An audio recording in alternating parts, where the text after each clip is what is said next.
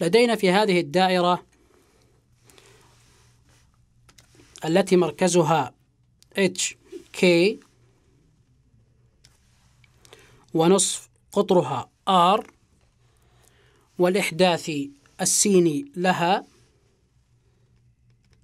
لهذه النقطة H والإحداثي الصادي K. والمطلوب مني إيجاد صيغة عامة لمعادلة هذه الدائرة التي مركزها HK من تعريف الدائرة فهي مجموعة نقاط تبعد البعد نفسه عن المركز. فلنأخذ أي نقطة تقع على محيط الدائرة لنفرض أن هذه النقطة هي هذه لنسميها X و Y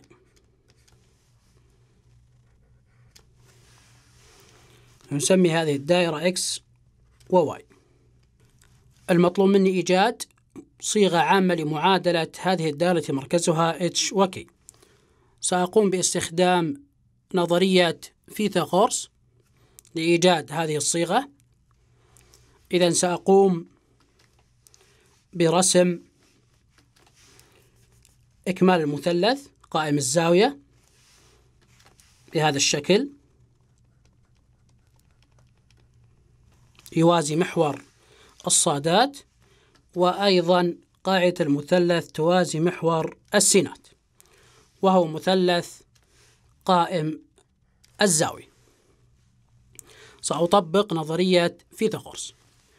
نظرية فيثاغورس مجموع مربعي طولي الساقين يساوي مربع طول الوتر. الآن سأبدأ بمعرفة طول هذا الضلع أو اللي هو موازي لمحور الصادات.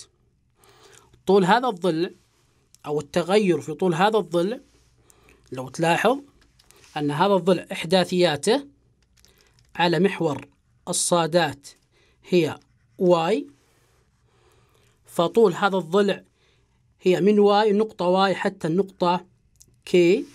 إذا نستطيع أن نقول أن طول هذا الضلع y ناقص k. الآن سآتي بطول هذا الضلع الموازي لمحور السينات.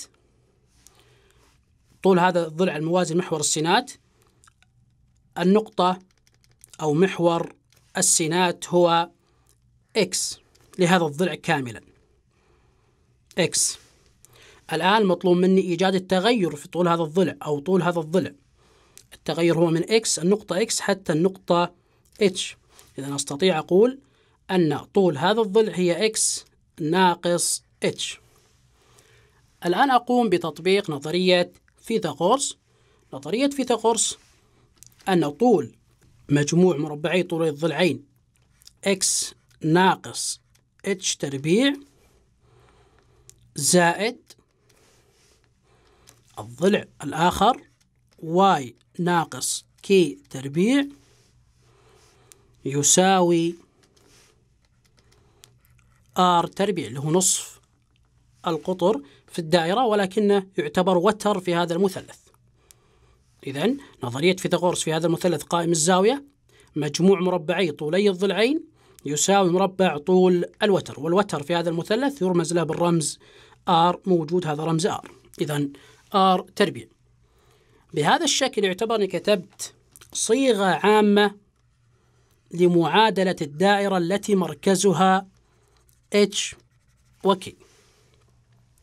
لناخذ مثال لنفرض أن لدينا دائرة مركزها خمسة وسالب خمسة ونصف قطرها يساوي أربعة. لنبدأ بالتطبيق في هذا القانون أو الصيغة العامة.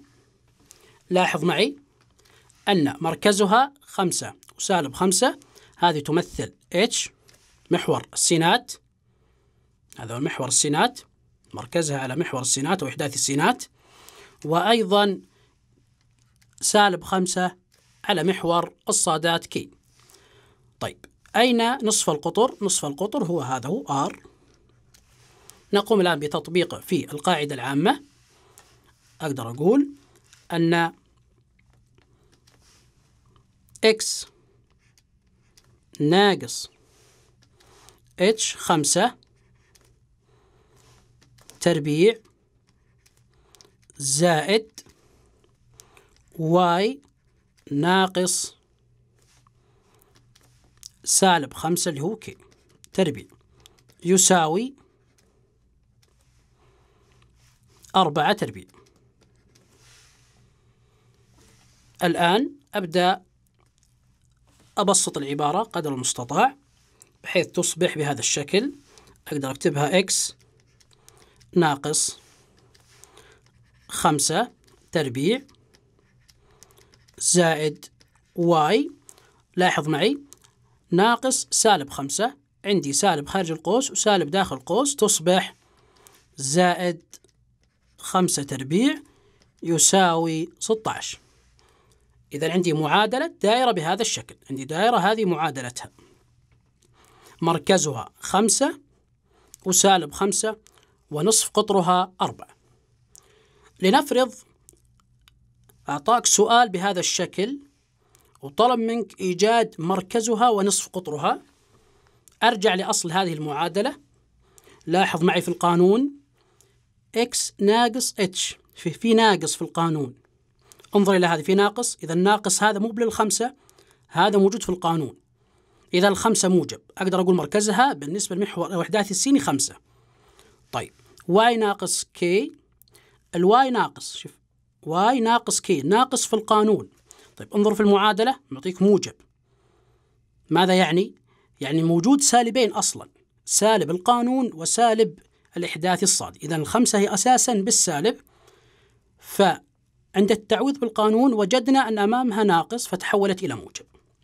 طبعا ال 16 نصف قطر ونصف القطر يساوي 4 إذا 4 تربيع تساوي 16 وبهذا كتبنا صيغة عامة لمعادلة الدالة مركزها h و k وأخذنا مثال تطبيقي عليها. وأيضا لو أخذنا نصف قطرها المركز نفسه. نفس المركز في الإحداثيات السين والصاد اللي هو صفر وصفر. لنفرض أن لدينا دائرة مركزها هو مركز الإحداثيات صفر وصفر. فتكتب على شكل طبعا يعتبر الاتش والكي أصفار. فيبقى لديك x تربيع زائد y تربيع يساوي r تربيع. يعني كأنك تشيل الاتش وتحط مكانه صفر إحداث السينات وتشيل ال k وتحط صفر اللي هو إحداث الصادات. عند التعويض بقى لديك x تربيع زائد y تربيع يساوي r تربيع. وشكرا.